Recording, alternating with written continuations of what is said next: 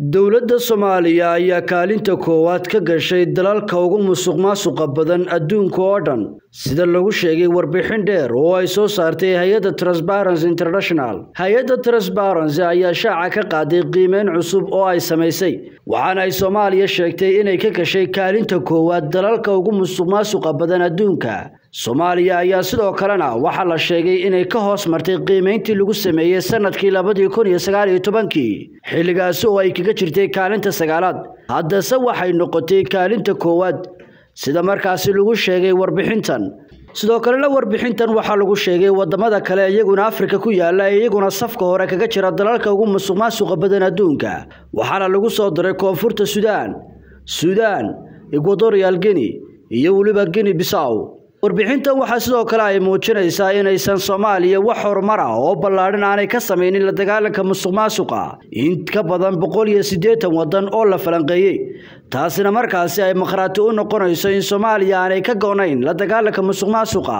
Sida warbixintan lagu caddeeyey dhanka kalena dalka new zealand ayaa noqday waddanka ugu musuqmaasuqa yar adduunka oo dhan waxaana sidoo kale ku xiga iyaguna kaalmaha labaad iyo saddexaad soo galay denmark iyo finland. Hore ayaa dowladda federaalka ee soomaaliya waxay uga hortimi warbixintan ay hay'addu soo saartay sannadkii labadii kun iyo sagaal iyo tobankii iyadoona ku sheegtay inay tahay warbixin aan laysku hadlayn karin. Sidoo kalena ilaa hadda wax warakama ay soo saareen warbixintan ay hay'adda transparency international ay ku sheegtay in soomaaliya ay hoos uga soo daadegtay kaalintii ay sannadkii labadii kun iyo sagaal iyo tobankii ay kaga jirtay ayna noqotay dalka koowaad ee dunida oo dhan ugu musuqmaasuqa badan leh si kastaba soomaaliya haatan waxaa ka jira duruufo adag oo isbiirsaday oo nololeed.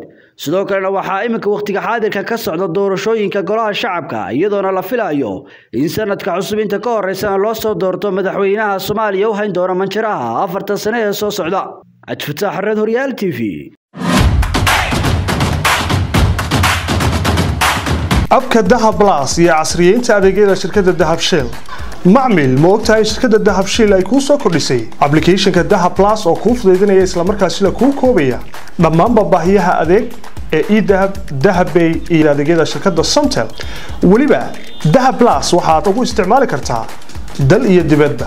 Haddaba sidee ayuu u shaqaynaya applicationka dahab blas google app storeka ama play storeka moobaylkaaga. Kadibna raadi dahab blas